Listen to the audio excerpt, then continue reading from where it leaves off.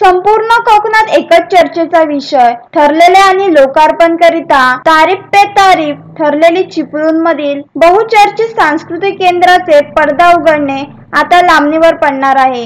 नगरपालिकेच्या कौन्सिल बैठकीत खुर्ची खरेदी व्यवहारात मोठी फसवणूक झाली असल्याच्या विषयावरून सभागृहात गोंधळ झाला. खुर्च्या खरेदी गैरव्यवहारात पालिकेचे मोठे आर्थिक नुकसान झाल्याची माहिती नगरसेवक मोदी यांनी सभागृहात दिली.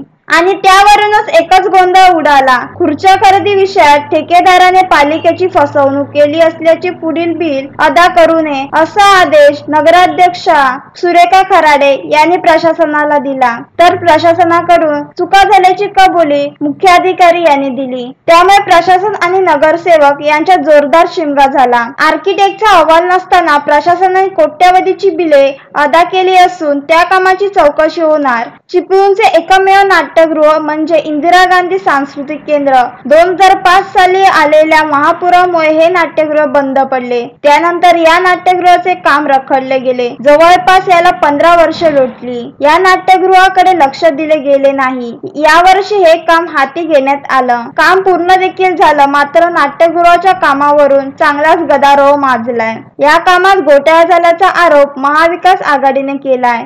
इथे बसवण्यात आलेल्या खुर्च्या आता वादात अडकल्यात.